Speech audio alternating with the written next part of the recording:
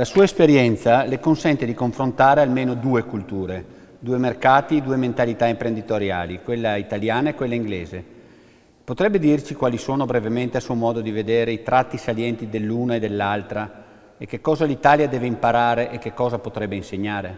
Direi che la cultura inglese, la cultura anglosassone è molto forte nella uh, governance, nella pianificazione, nel controllo, c'è un po' anche il retaggio uh, dell'impero e del tenere sotto controllo parti remote, il che ovviamente porta a una grande capacità di gestire complessità e, e internazionalità. La cultura italiana invece di nuovo come retaggio storico delle botteghe, dell'artigianalità della, dell che sono diciamo, parte del nostro passato, tende a essere invece più reattiva, più veloce, un po' meno organizzata, siamo, eh, siamo più forti come italiani in situazioni ambigue, eccetera. E naturalmente nel mondo moderno ci vogliono entrambe, perché se vuoi crescere devi per forza pianificare e governare, ma il mondo cambia in fretta e quindi bisogna anche saper reagire eh, molto bene. E credo che sia il motivo per cui i manager italiani tipicamente lavorano bene eh, internazionalmente perché riescono a mettere assieme le due culture.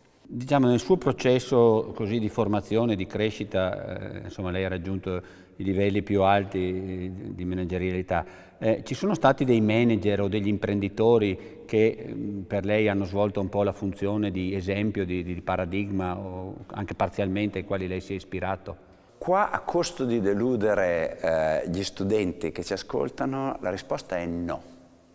E no perché, perché io non ritengo che ci sia nessuno che, che veramente è perfetto, non esiste il modello, bisogna sapere prendere da ogni persona il meglio. Io ho avuto la fortuna di conoscere Steve Jobs, Jeff Bezos, eh, Tim Cook adesso e poi tanti manager europei, tanti imprenditori italiani della moda, imprenditori di tutti i settori. E, e, devo dire, io dico sempre agli studenti, lo dico anche ai, ai, ai, dirigenti, soprattutto a quelli giovani, non cercate il modello degli altri, guardate gli altri, imparate, ma in ogni persona c'è qualcosa di molto positivo, anche in noi stessi. Saper individuare, saper fare leva su quel lato positivo è il vero segreto. E l'adorazione del manager, io credo che il manager non è un artista, è una persona brava che lavora bene, individuare in che cosa e trovare dentro di noi quella cosa che ci permetterà di essere di successo è più importante che non adorare delle figure. Dall'inizio degli anni 90 in Italia è cambiata la legislazione bancaria. In realtà forse il ruolo delle banche in Italia non è cambiato così radicalmente come è cambiata la legislazione. Qual è il suo giudizio sul ruolo svolto dalle banche nei confronti delle imprese in Italia negli ultimi 10-15 anni? Allora, io non sono un esperto di, eh, di, di banche e, e, di, e, di, finanza bancaria, più, eh, ho avuto più competenze nella, nella, finanza di mercato. Io non sono così critico come, come, molti verso le banche italiane. Allora, noi dobbiamo ricordarci una cosa, che alla fine i banchieri fanno credito eh, a situazioni che hanno delle buone prospettive e una decente solidità. Eh, è chiaro che quando le imprese italiane sono tendenzialmente sottocapitalizzate, quando tendenzialmente le imprese italiane tendono a mantenere dimensioni piccole e a non volere eh, considerare eh, maniere per crescere e far crescere anche la loro, la loro, base di capitale, in un momento in cui la tecnologia sta cambiando completamente, in un momento in cui tutti devono ammodernarsi, e beh, insomma, la banca fa fatica a trovare situazioni eh, in cui eh, non è rischioso eh, prestare denaro e stiamo vedendo adesso con i non performing loans eh, dove, dove siamo finiti. Quindi io se devo fare una critica, forse le banche italiane si sono uh, ammodernate poco dal punto di vista delle competenze internamente perché c'è la rigidità del lavoro, eccetera. Però eh, penso che il settore industriale italiano si debba porre delle domande se tenere le aziende piccole, tenerle sottocapitalizzate, mantenere il controllo eh, familiare, alla fine non sono elementi che precludono il credito e quindi poi precludono la crescita. E devo dire che vivendo appunto nel mondo anglosassone dove invece questi elementi non ci sono, eh, tenderei a, a, propendere per il fatto che anche le imprese industriali italiane devono mettersi un po' la mano sul cuore e domandarsi se non deve cambiare qualcosa. Anche un recente studio di Banca d'Italia sottolinea il fatto che uno dei fattori che certamente hanno rallentato eh, la crescita italiana negli ultimi anni è diciamo, l'incapacità della politica di attuare tutta una serie di riforme strutturali. In Italia è abbastanza eh, tratto nella logica comune che ci siano altre istituzioni che in un certo senso suppliscono alla politica. Una di queste supplenze più marcate alla politica è stata eh, appunto la magistratura. Secondo lei eh, la magistratura può svolgere un ruolo positivo all'interno diciamo, della correzione di dinamiche distorte di mercato? Ma questa è una, è una, domanda tutta italiana. Allora, una domanda eh, come quella che lei mi ha fatto, fatto sarebbe intraducibile in inglese, ma intraducibile tecnicamente, ma anche la gente non capirebbe di cosa stiamo parlando. Dice la magistratura deve, deve intervenire per riparare i problemi di mercato, ma stiamo scherzando. Allora, io penso che alla fine stiamo veramente confondendo un po' i ruoli. Il ruolo della magistratura è di mettere dentro la gente che viola la legge e questo eh, a prescindere dal fatto che ci sia o non ci sia un fallimento di mercato. Il ruolo dei regolatori della politica è di fare riforme e di creare le condizioni per cui se io sono un ciclista posso a un certo punto diventare un grande distributore di parti per biciclette, se sono un barista posso crescere, avere un ristorante, avere altre cose, se faccio hotel posso diventare la più grande catena al mondo. Non è quello di entrare a, a, a valutare come lo faccio, come lo faccio, dovrò rispettare le leggi, ci sarà la magistratura, la finanza, quello che è, cioè le varie leggi, le tasse, le regole, eccetera. Questa discussione di, di, poteri supplenti è veramente molto italiana e, e devo dire anche un pochino, a mio, a mio, vedere, un po' irrilevante, perché poi dà l'alibi eh, a chi dovrebbe intervenire per migliorare. Io penso che in Italia ci sia un deficit alla fine di innovazione e di concorrenza, bisogna creare più opportunità per i giovani e alla fine le opportunità per, per, gli studenti che ci ascoltano arriveranno da innovazione, da crescita e da concorrenza, da nuove cose che nascono. Quello è il ruolo della politica e quello la politica deve farlo credo, meglio di come lo sta facendo oggi in Italia. Qual è la sua opinione sulla crisi del 2008? Ritiene che nel fallimento di importanti istituti di credito, nell'atteso default perfino corso ad alcuni stati, eh, nell'uso diciamo, esagerato che è stato fatto di certi strumenti finanziari, tutti coloro che hanno contribuito alla crisi alla fine abbiano qualche misura pagato, che siano stati adettati poi anche non solo in Italia ma anche in altre nazioni correttivi sul piano normativo in maniera tale che la crisi non si ripeta o rischia che eh, diciamo, le stesse dinamiche ce le troveremo davanti anche in futuro? Allora qua, eh, visto che eh, si parla a, a, studenti di economia, eh, do due risposte. La prima è la risposta, chiamiamola sistemica, e la seconda è, è la risposta invece più, eh, diciamo più, più psicologica, da behavioral economics, allora, la risposta sistemica è che chiaramente eh, ci sono stati degli eccessi e dobbiamo stare attenti perché gli eccessi sì, sono stati dalla parte delle banche che hanno finanziarizzato dei prodotti, dei prestiti o dei prodotti subordinati che non dovevano essere messi assieme, ma però c'è stata anche, diciamo, la, per esempio, da parte degli utilizzatori. Quanti comuni, anche in Italia, hanno utilizzato swap e altri prodotti finanziari semplicemente per eh, far tornare i conti a breve e poi buttare il, problema, buttare il problema alle generazioni successive o alle giunte successive. E lo stesso vale per gli stati. Quanti stati hanno fatto politiche di breve che hanno portato il loro bilancio a essere piuttosto dissestato, diciamo che ne abbiamo stati vicini a noi, ma forse potremmo anche parlare dell'Italia, e, e, poi danno la colpa al mercato finanziario. Ricordiamoci sempre che se c'è qualcuno che eh, finanziarizza debito c'è comunque sempre qualcuno che lo piglia e quindi vuol dire che c'è una politica poco saggia dietro. Allora sono stati messi dei vincoli, messi dei, sicuramente ci sono stati messi dei fattori di mitigazione. Io credo che l'Europa, che, che se ne dica, si è comportata molto bene, perché mi ricordo, io appunto ho iniziato a fare l'amministratore delegato nei giorni della crisi nel 2008, Lehman Brothers, io non sapevo neanche quasi cos'era e mi sono trovato nel caos. Devo dire che mi ricordo quelli che dicevano l'Europa scompare, l'euro collassa, i paesi vanno tutti per la loro. Invece abbiamo dimostrato ancora che con questo meccanismo di decisione tutti assieme, poco a poco si è gestita la Grecia, si è gestita la crisi dell'Italia del 2011, si sono gestite le ristrutturazioni, si sono fatte le operazioni di mercato per sostenere eh, gli stati, quindi dobbiamo anche essere contenti di come strutturalmente questo meccanismo europeo, e quindi questa è la parte macroeconomica, gestisce eh, queste crisi. Poi però c'è eh, la parte di behavioral economics e qui dico agli studenti ci sarà sempre la prossima crisi e ci sarà sempre perché fondamentalmente eh, l'uomo è avido ed è imprenditoriale, quindi le due cose messe assieme creeranno sempre delle zone di rischio, creeranno sempre dei tentativi o delle tentazioni di andare oltre. Lì è dove è importante che ci sia una reazione veloce e immediata perché il mondo adesso è molto interconnesso e se noi lasciamo che un rischio piccolo e contenuto diventi poi sistemico, allora, quindi sì, io credo che i meccanismi sono stati messi in, eh, diciamo, in essere per gestire la crisi, ma questo non vuol dire che non ce ne sarà un'altra, ce ne sarà sempre un'altra perché è nella natura umana di cercare sempre di andare al limite. Credo che lei sia una delle persone che ha eh, maggiormente esperienza in questo campo, mi, intendo, eh, mi riferisco ai consumatori. Eh, proviamo a, a, trasformare Vittorio Colau in, in un consumatore. A partire insomma, ne, negli ultimi dieci anni, secondo lei eh, la condizione dei consumatori rispetto ai produttori è migliorata, nel senso che i rapporti tra fornitori di servizi o produttori di beni e consumatori sono diventati più paritari sul piano dei diritti, sul piano diciamo, anche normativo. Anche qua eh, ci sono due risposte.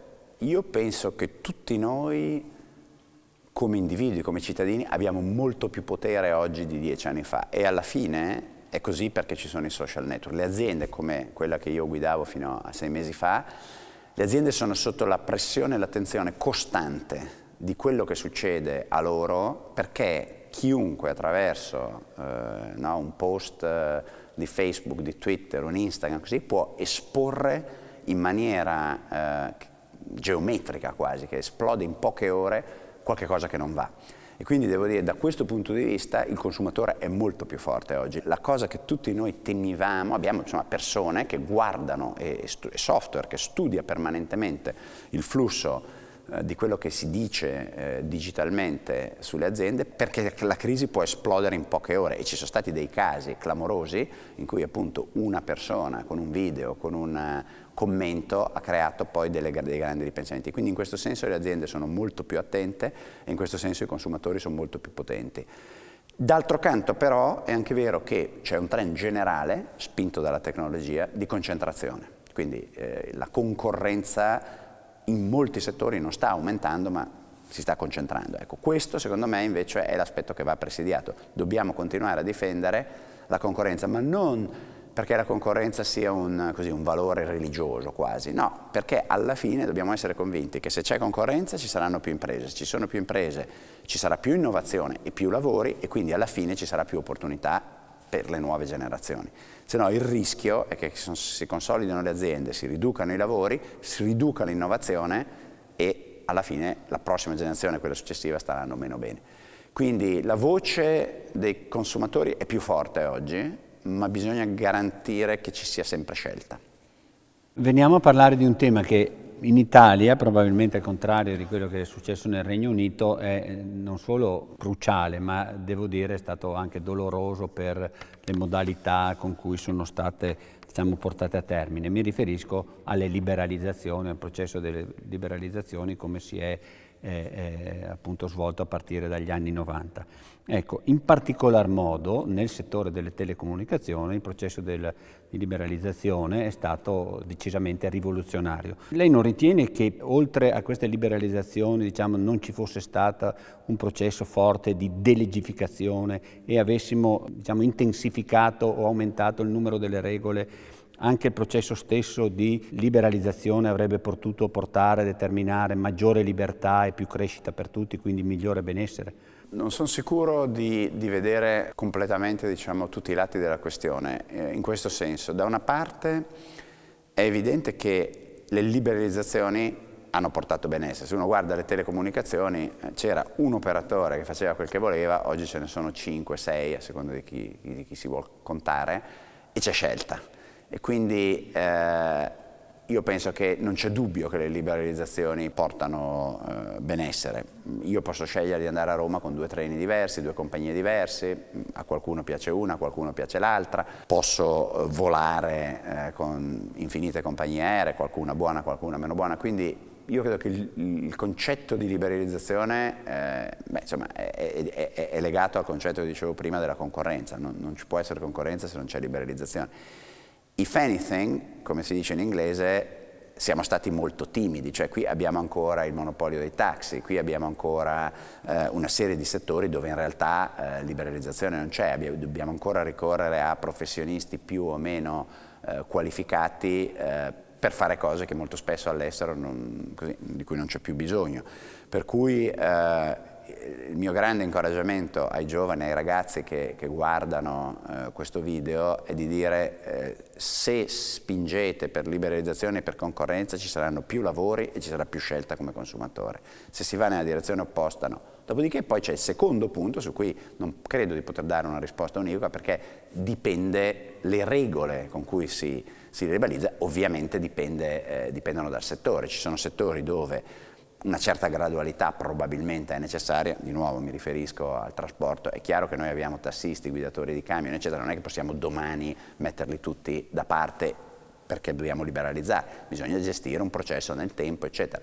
Abbiamo altri settori dove invece si può liberalizzare molto più in fretta e eh, avere eh, molta, più, eh, molta, più, concorrenza da subito. Quindi le regole dipendono un po' dal settore e anche da gestire gli impatti sociali, perché non, non è che possiamo liberalizzare dimenticandoci le famiglie, i lavoratori, eccetera. Per cui mentre io sarei ideologico su dire liberalizzazioni sì, poi però il come farlo va visto settore per settore, non posso dare una risposta generale. Allora abbiamo parlato di liberalizzazioni, strettamente legato al fenomeno delle liberalizzazioni è evidentemente il tema delle privatizzazioni. Eh, nelle privatizzazioni, che è un fenomeno in Italia che si è sviluppato a partire dagli anni 90, abbiamo avuto alcuni casi virtuosi, sinceramente rari, eh, e abbiamo avuto altri casi meno virtuosi. In seguito appunto a alcuni fallimenti in questo processo, eh, molti oggi chiedono più Stato all'interno delle imprese. Ecco, eh, secondo lei qual è la eh, prospettiva futura? Cioè ragionevolmente possiamo pensare a uno Stato che sia ancora più presente nel mercato o, o è solo... Allora, questa storia di avere più Stato nel mercato è eh, una risposta istintiva ma molto superficiale che eh, in Italia purtroppo eh, viene spesso in questi tempi evocata. Allora guardiamo un po' ai fatti non è che più Stato voglia dire meglio o peggio, noi abbiamo un'azienda Enel che è stata quasi completamente privatizzata, 23% dello Stato, mh, capitalizzazione di mercato 55 miliardi, una delle migliori e meglio gestite aziende elettriche al mondo, non, già, non, in Europa, presente in Africa, presente in Sud America. Abbiamo l'Eni che è una delle grandi aziende, lo Stato ha ancora una quota, ma è gestita bene da, da oilmen che sanno eh, cos'è il loro mestiere. Poi abbiamo avuto l'Italia che è stato un disastro, ma lì è stato un disastro gestito dallo Stato, dai privati, da chiunque.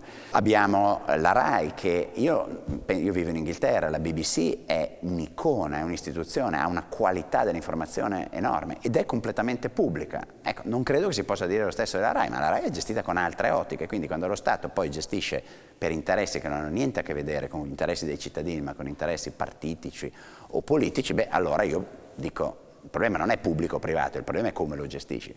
Quindi uscirei da questo dibattito teorico che dice ci vuole più Stato, ci vuole semplicemente che le aziende siano vestite, gestite meglio, alcune avranno più proprietà statale, altre meno, io non credo che averne di più sia la soluzione perché l'unica soluzione è per gestire meglio le grandi aziende di avere migliore management e di avere indipendenza e di lasciarle gestire sul mercato nell'interesse dei clienti. Alla fine io penso che io voglio avere eh, il servizio migliore, il prodotto migliore da un'azienda, poi diciamo che sia privata o pubblica eh, eh, dipende dal settore, dipende dalla storia, ma non credo che la risposta per l'Italia oggi sia più Stato.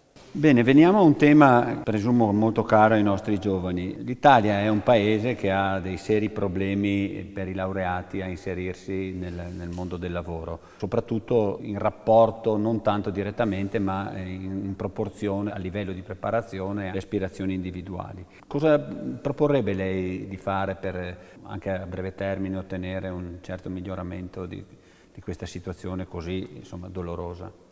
Bisogna essere anche un po' onesti con noi stessi. Da una parte chi forma bene, le università, eh, le, gli istituti di higher education che formano bene i ragazzi dimostrano che in realtà poi questi il lavoro lo trovano. Quindi la domanda che ci deve fare è che cosa serve veramente al mondo del lavoro da parte delle università per avere de dei ragazzi migliori e più adatti al mondo del lavoro.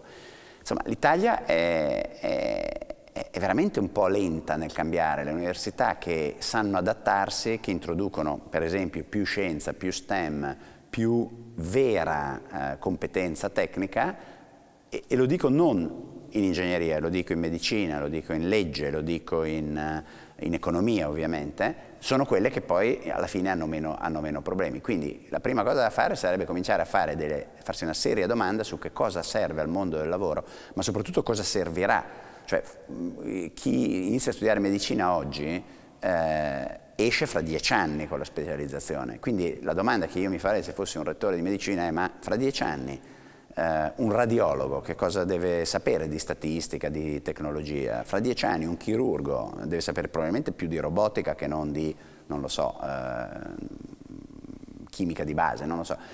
Cioè bisogna domandarsi molto di più cosa serve al mondo del lavoro e qui c'è un punto filosofico molto importante. L'università serve per tramandare il sapere e formare professori o serve per formare giovani alla vita? E qui bisogna essere un po' chiari nel fatto che il tramandare il sapere e formare professori è una missione sicuramente dell'università, ma non è la missione maggioritaria, è la missione minoritaria, anche perché oggi il sapere si tramanda con strumenti tecnologici molto facilmente. Quindi la prima cosa, le università devono veramente mettere mano ai programmi e veramente cominciare a accettare che devono mettersi più in gioco. E i corpi docenti, non tutti chiaramente, sono felici di questa cosa.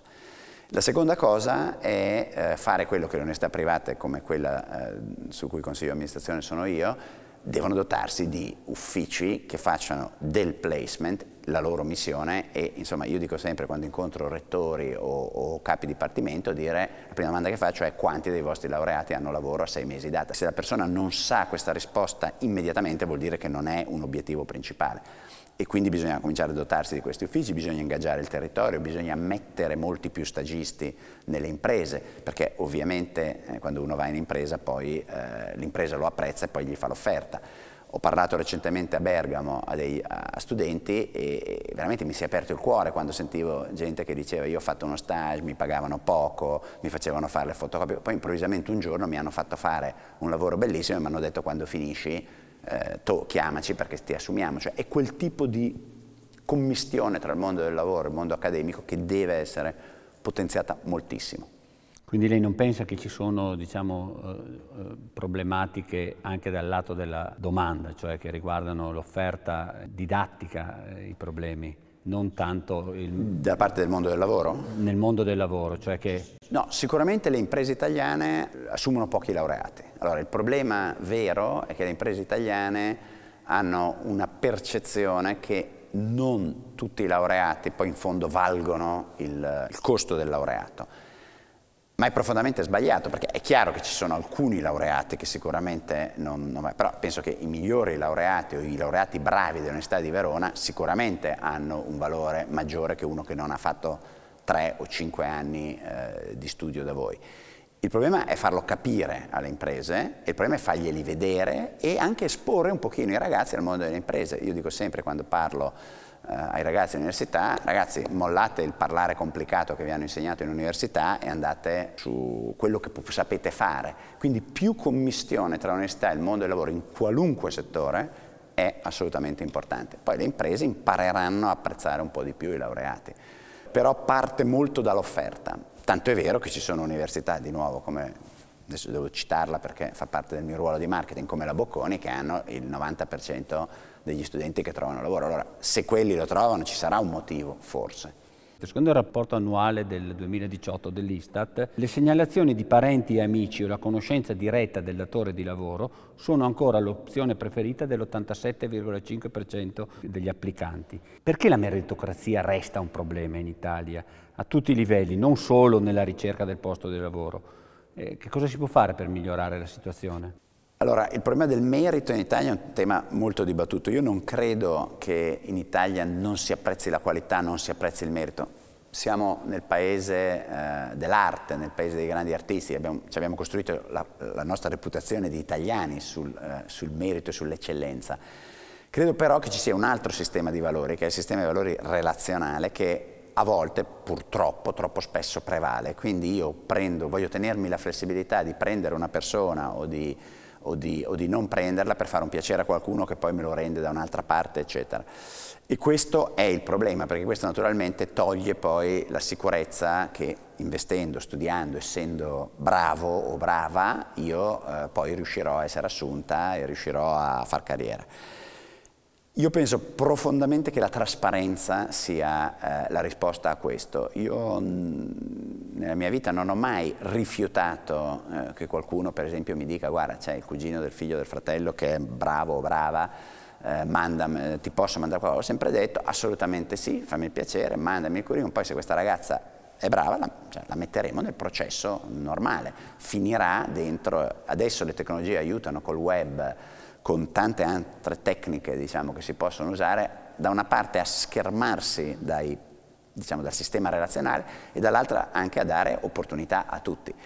Un pochino parte anche però dai ragazzi, no? nel senso che è chiaro che se poi no, c'è qualcuno che continua a usare certi strumenti e ovviamente lo fa a danno e a scapito del, dell'amico, dell'amica e, quindi insomma eh, deve, deve, succedere un po' da tutte e due le parti, però trasparenza e utilizzo di tecnologia aperta secondo me poi è quello che rende il sistema relazionale più gestibile. Diciamo in poche parole lei potrebbe dare una ricetta alle imprese italiane per essere competitive sul mercato globale come oggi è indispensabile?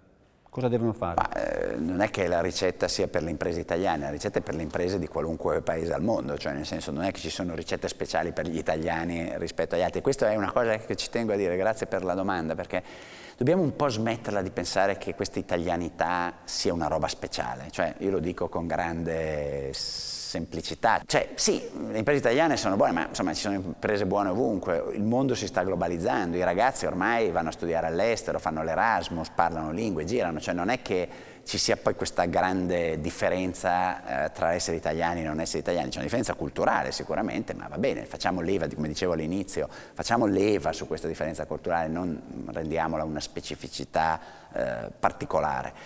Eh, che cosa devono fare le imprese? Le imprese devono fare due cose, devono eh, aprirsi di più all'innovazione e, e, per aprirsi all'innovazione bisogna assumere eh, più ragazzi, più giovani, non c'è niente da fare, noi cinquantenni per quanto siamo aperti, siamo, cioè, non siamo più current su tante tecnologie, su tante cose nuove, quindi bisogna assumere più ragazzi, essere più coraggiosi nell'assumere giovani, io l'ho detto anche a un convegno del Corriere della Sera a imprenditori, ho detto assumete laureati, andate all'università, al liceo di fianco a scuola e portateveli a casa presto, prendeteli sei mesi prima che si laureino, metteteli in azienda ancora prima che si laureino, perché è lì che si dimostra che le grandi idee nascono sempre in gente che ha meno di 32 anni, più o meno, no? poi c'è sempre il genio che ha l'idea eccezionale, ma è quella fase dell'età lì che è importante, questa è la prima cosa prendere giovani e prendere giovani che abbiano voglia di cambiare.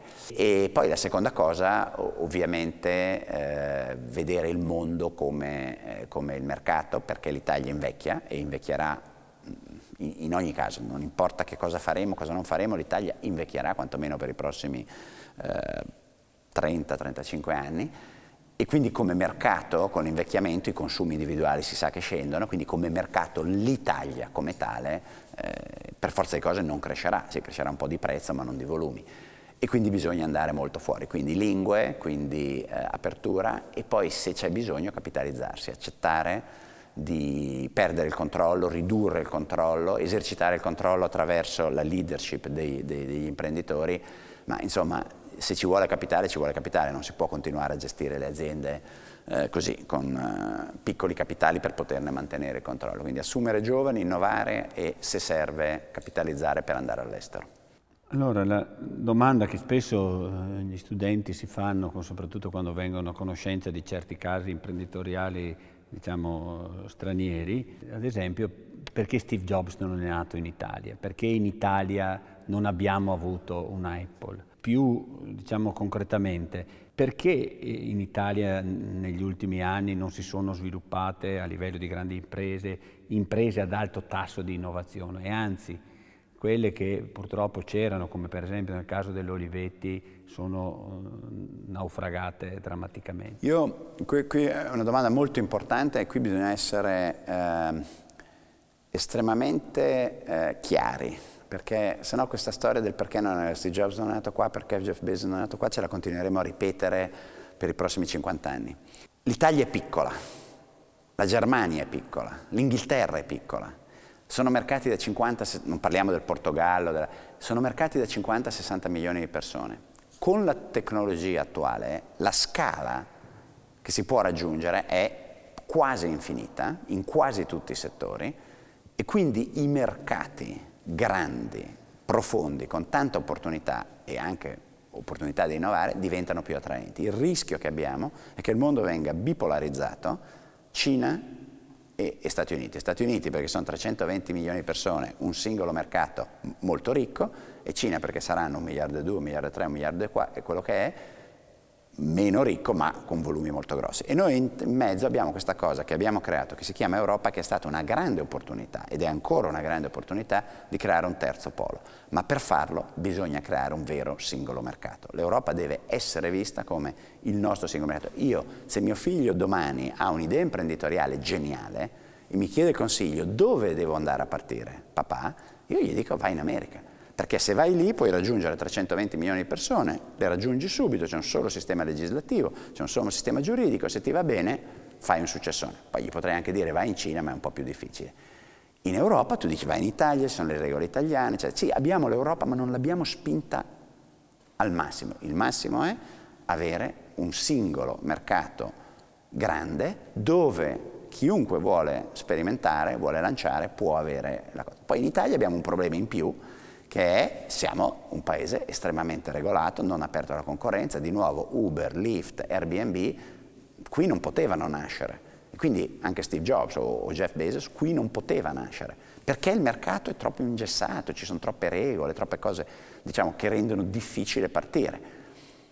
In generale in tutta Europa è più o meno così, però sicuramente se creassimo uno spazio unico improvvisamente avremmo qualcosa che è attraente come l'America, più diversa, perché abbiamo più diversità in Europa, e francamente anche un po' più bello, perché l'Europa è molto bella dal punto di vista diciamo, artistico, ambientale. Eccetera. Quindi la vera causa del perché non abbiamo diciamo, queste grandi aziende è che, che, non abbiamo saputo creare ancora un singolo mercato e dobbiamo spingere, i ragazzi devono spingere per questo, perché è il loro futuro che dipende da questo. Da soli siamo piccoli. Si dice, soprattutto si diceva, che l'Italia fosse il paese delle piccole e medie imprese e diciamo, per un certo periodo era abbastanza diffuso in Italia la convinzione che eh, l'economia italiana potesse reggersi quasi solo sulle piccole e medie imprese. Oggi il mondo è cambiato, il ruolo delle piccole e medie imprese è valutato diversamente, tuttavia eh, in Italia esiste la consapevolezza che le piccole e medie imprese, soprattutto nell'alta qualità, possono giocare un ruolo importante. Qual è secondo lei il ruolo e il rapporto che deve esserci tra piccole e medie imprese e grandi imprese diciamo, in Italia? Allora in Italia il problema sono le medie imprese, non le piccole, cioè in tutti i paesi ci sono piccole, medie e grandi imprese. Il problema dell'Italia è che ne abbiamo tantissime piccole, che va benissimo perché, voglio dire, è quello che dicevo all'inizio, è la cultura italiana, è l'imprenditorialità, è la creatività.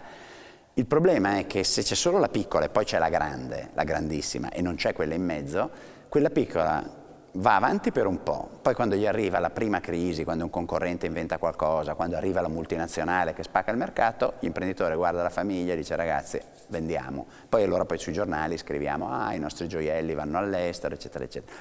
Quindi il problema è la crescita da piccola a media, la grande impresa può ovviamente aiutare le piccole, però alla fine ne aiuti un certo numero. La grande impresa poi si tecnologizza, noi a un certo punto nel, nel mio precedente lavoro abbiamo cominciato a dire se tu sei in grado di gestire Asta Online bene, se no fuori, poi devi collegarti dal punto di vista informatico con noi, poi ti mettiamo gli standard sulla qualità, poi ti veniamo a vedere come gestisci, se fai, tratti bene le persone, se non le tratti bene, se no non ti vogliamo. Poi abbiamo l'ethical purchasing, quindi vogliamo vedere da chi compra. La piccola impresa muore se gli vai a fare questo. Allora, la media invece che è diciamo, in crescita. Se guardiamo la Germania, la Germania ha questo eh, livello di, di, imprese di media dimensione, ma medie parliamo di imprese da miliardo, due miliardi, tre miliardi, quindi medie grosse, non medie medie. Questo è quello che porta poi il sistema a, diciamo, a aiutare, ogni livello aiuta il precedente e, e tutti possono crescere. Ma di nuovo si torna al tema, come fa una piccola impresa a diventare media? Deve avere delle persone brave, quindi deve assumere laureati, deve assumere gente a cui dare una prospettiva di carriera e, ripeto, a un certo punto deve capitalizzarsi, perché se devi andare a Singapore, in, in Sud America e, e, in Alaska, ovviamente hai bisogno di avere un'infrastruttura più seria che non se vendi eh, diciamo a, in Basilicata e in Val d'Aosta. Ultimamente eh, diciamo, eh, l'etica è stata abbastanza, è una parola che viene utilizzata maggiormente. In un recente passato le università avevano un po' trascurato, ovviamente soprattutto quelle eh, che impartiscono discipline scientifiche, eh, l'etica e si erano concentrate diciamo, sul, sulla scienza fine a se stessa. Oggi questo è un, un meccanismo che sta eh, avendo un'inversione di marcia. Per le imprese, eh, anche le imprese hanno incominciato a parlare poco alla volta di etica e diciamo anche la diffusione evidentemente dei, dei social ha contribuito a questo. Ecco, in che senso le imprese possono essere portatrici di valori etici, valori etici sostanziali legati all'impresa e che non siano semplicemente diciamo, un belletto eh, all'interno di operazioni di marketing? Dunque, è una domanda molto, molto importante e, e, do una risposta un po' più articolata perché, perché è importante questo. Allora, eh, il primo punto è perché l'impresa deve rimettere l'etica al centro, i principi e i valori al centro di quello che fa, di più oggi che non 15 o 20 anni fa. E la risposta è molto semplice il progresso della tecnologia, la capacità di arrivare direttamente al consumatore, la capacità di eh, comunicare istantaneamente, inevitabilmente richiede che nelle imprese si deleghi più responsabilità alle nostre persone. Il vecchio sistema di ti controllo il prezzo, la pubblicità, il canale che usi, il manufacturing e, e, e il sourcing è finita, cioè eh, il mondo cambia talmente in fretta che le imprese devono delegare. Se deleghi, e io sono un grande sostenitore della delega, c'è anche un caso di Harvard Business School fatto su, proprio su questo principio, su di noi e su questo principio, però devo essere sicuro che le persone non mi fanno cose sbagliate e l'unica maniera per esserlo è che ci deve essere fiducia. Io ho usato molto nella mia carriera la parola trust, fiducia tra colleghi. La fiducia può essere solo basata su valori. Io mi fido di dare a lei eh, autonomia nelle sue decisioni manageriali se so che condividiamo i valori e lo devo fare anche per essere sicuro di non finire in galera un giorno io, quindi è molto importante, specie quando si gestisce una multinazionale, ma anche in una piccola impresa, essere sicuri che il tuo venditore non imbroglia il, il cliente, che il tuo compratore non compra una roba di cattiva qualità solo per risparmiare un po'. Quindi l'etica diventa e la fiducia diventano essenziali nelle, nelle organizzazioni delle imprese moderne. Poi c'è il secondo passo che è eh, come si fa a essere sicuri che non sia solo un esercizio, cioè che non siano quelle belle robe che si mettono sui muri, noi amiamo i nostri clienti, amiamo i fornitori, l'ambiente e abbracciamo gli alberi, no?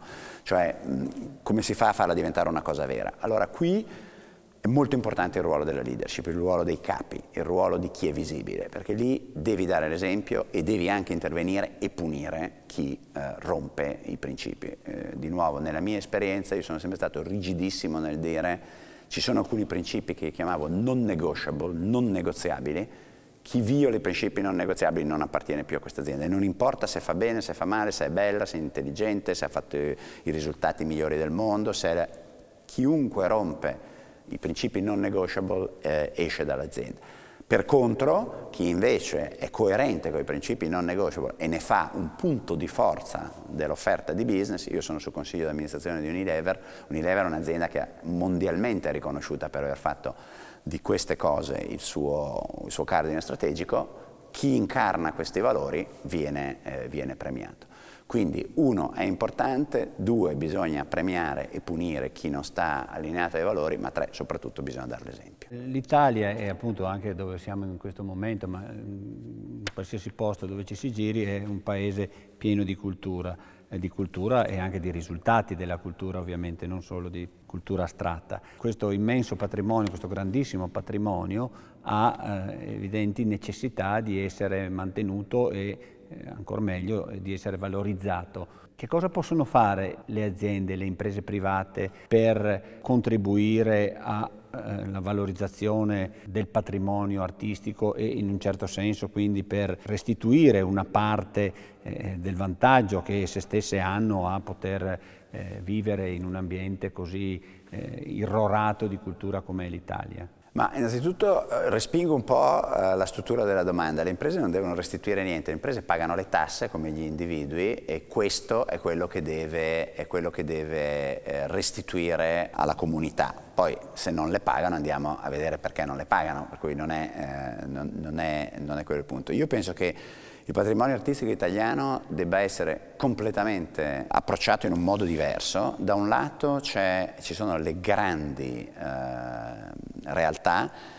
E devo dire che alcuni passi buoni sono stati fatti in quella direzione, dobbiamo dare a questi eccellenti direttori di museo che abbiamo, a questi eccellenti curatori, che poi siano italiani o stranieri, anche questa è una polemica provinciale, a me non interessa, sono stato a Torino recentemente, c'era una direttrice fantastica, italiana, ma se fosse stata tedesca per me era uguale, che veramente hanno passione ma non hanno gli strumenti per gestire il patrimonio piccolo o grande che hanno in una maniera logica dal punto di vista commerciale, dal punto di vista dell'esposizione turistica, dal punto di vista anche dell'immagine. Quindi dobbiamo, e credo Franceschini abbia fatto qualche passo in quella direzione, il ministro Franceschini, ma poco rispetto a quello che si dovrebbe fare. Abbiamo le persone eccezionali, abbiamo persone con competenze eccezionali che possono diventare più manager della cultura e non solo dei curatori, dobbiamo dargli però eh, il potere di farlo e incoraggiare chi ha il coraggio di darglielo.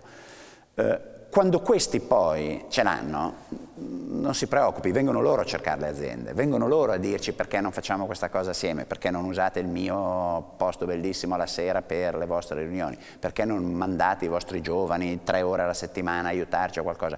Però tutto sta a ricreare orgoglio e imprenditorialità in chi gestisce queste cose e rispettarli e non interferire politicamente e non usare questi come beni dello Stato, questi sono beni dei cittadini, questo è il patrimonio dell'Italia.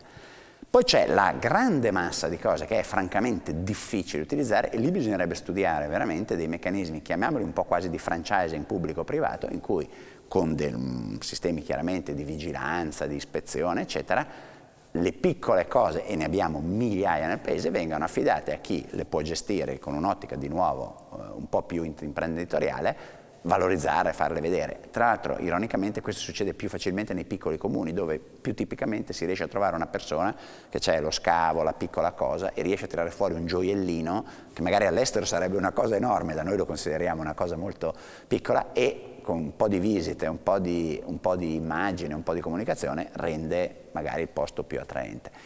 Ci vorrebbe un approccio molto più eh, responsabilizzante eh, dei, dei, dei gestori del nostro patrimonio artistico. Siamo ancora molto burocratici nel tenerli un pochino con le mani eh, legate. Il settore delle telecomunicazioni è probabilmente uno dei settori a maggior tasso di innovazione e eh, appunto recentemente mm, diciamo, una tematica legata all'innovazione è stata è comparsa sui giornali di tutto il mondo e riguarda la nuova tecnologia 5G. Ecco, ci sono due aspetti che magari eh, possono interessare, cioè il fatto effettivamente quali saranno le conseguenze di questa nuova sulla, sulla vita pratica di questa nuova tecnologia 5G e poi eh, un suo parere sul fatto che diciamo, eh, il gestore di questa tecnologia possa anche eh, in qualche misura impossessarsi di dati sensibili e quindi ci debba essere una forte cautela nella assegnazione, nella, nella scelta di chi potrà essere il gestore di questa tecnologia. Allora, sul tema del 5G, eh, prima bisogna fare chiarezza nel dire che cosa permetterà eh, di fare il 5G rispetto a oggi. Allora, quello che il 5G permetterà di fare rispetto a oggi è sostanzialmente avere molta più velocità, molta più banda, quindi poter trasmettere più dati più rapidamente, ma soprattutto permetterà che l'effetto latenza, quindi il tempo in cui un segnale eh, torna indietro, il tempo in cui il mio dito tocca il tavolo e il mio cervello si accorge che eh, c'è stata, eh, questo contatto, permetterà di portarlo sotto i 8-9 millisecondi, che è appunto una reazione quasi eh, di sensibilità fisica. Questo nei fatti vuol dire che si potrà collegare oggetti, si potrà collegare robot, si potrà collegare tutto e avere una remotizzazione di tutti i controlli, dalle serrature delle porte che diventeranno elettriche, alle macchine che leggeranno ovviamente chi attraversa la strada se posso girare o no, ai sistemi medici, quindi avere in tempo reale le condizioni di una persona e iniettare magari o, o, rilasciare una sostanza medica che è necessaria per le condizioni della salute, cioè si potrà fare tutto in remoto quasi istantaneamente. Questo non arriva il primo giorno, questo arriva nel tempo ovviamente. Eh, saranno delle trasformazioni profonde, le fabbriche cambieranno completamente, il sistema di trasporti cambierà completamente, il sistema eh, di, eh, beh, di, gestione degli edifici cambia completamente, noi non avremo più un riscaldamento che dice devo portare la temperatura a X, la devi portare a quello che servirà al numero di persone presenti a stare bene e magari aprendo delle finestre, chiudendo le finestre, se fa caldo, se fa freddo. Quindi la caldaia sostanzialmente ragionerà con mille input che le arriveranno da tante cose. E tutti noi abbiamo sperimentato no? il posto che è troppo caldo, che è troppo freddo, ma lo stesso si applicherà alla sicurezza, lo stesso si applicherà a, alle entrate, non ci sarà più bisogno di passare un badge, ci sarà il riconoscimento facciale e, e chi deve entrare entra, chi non deve entrare non entra. Quindi tutto un po' potrà cambiare e, e, questo è un grande cambiamento. Il problema della, della sicurezza del controllo della tecnologia è un problema che è male interpretato. La tecnologia di base eh, è comunque controllata dagli operatori, cioè gli operatori installano una tecnologia che sia prodotta dai cinesi, dagli svedesi, dai finlandesi o dai coreani, viene controllata dagli operatori.